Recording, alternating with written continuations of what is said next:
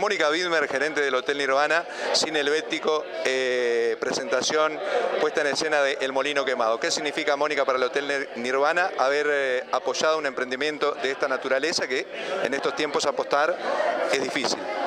Sí, bueno, para nosotros este, cuando nos plantearon eh, este tema nos pareció importante, sobre todo para la zona, porque digo, el Molino Quemado es como una leyenda que hay este, en la zona y bueno, y este tipo de emprendimiento lo que hace es hablar de Nueva Albesia, de hablar de Colonia Suiza y eso ayuda a todo el turismo y bueno, por eso dijimos que creíamos que era muy importante hacerlo.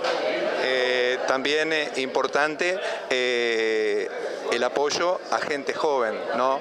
con emprendimientos nuevos y bueno, ni que hablar si es para reflotar un poco, como decías tú, la historia de la colonia suiza, donde todos un poco hemos escuchado del molino quemado, eh, que se aparecía el hombre en el caballo, que la mujer que habla y bueno, y hoy me parece que esa expectativa está creado y se ve en este estreno donde se ha volcado mucha gente.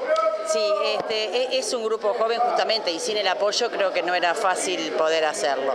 Así que bueno, nosotros lo que les dimos fue eh, el apoyo logístico, el alojamiento, cuando venían a filmar, cuando venían a hacer las notas, cuando venían, este, estuvimos apoyándolos durante, durante todo el tiempo.